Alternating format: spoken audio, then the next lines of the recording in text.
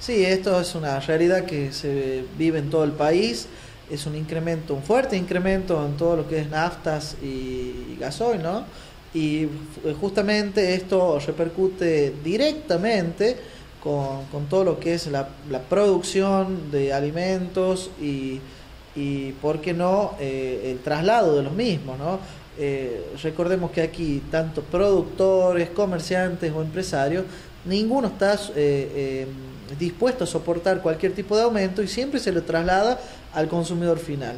esto va a implicar no solamente que aumenten productos de la canasta básica, que ya después de las elecciones eh, han aumentado un 7, de un 7 a un 12%, sino también eh, aumentan todo lo que es eh, productos de, higiene y bebidas.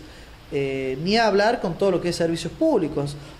Hoy estamos viviendo en nuestra provincia una situación muy particular donde todos los, prestatarios de servicios públicos como taxis y remises incluido también el urbano de pasajeros, pidiendo actualizaciones eh, en, cuanto a la baja de bandera en, estos servicios o el boleto, eh, el, boleto del pasaje del urbano, ¿no? Eh, si bien en algunas cuestiones se puede discutir ¿no? el tema de, de, sugerir un aumento, pero por allí la metodología que se utilizan no es la adecuada porque extorsionan al pueblo, ¿no? provocando, digamos, un colapso en los servicios cuando en realidad eh, son de primera necesidad.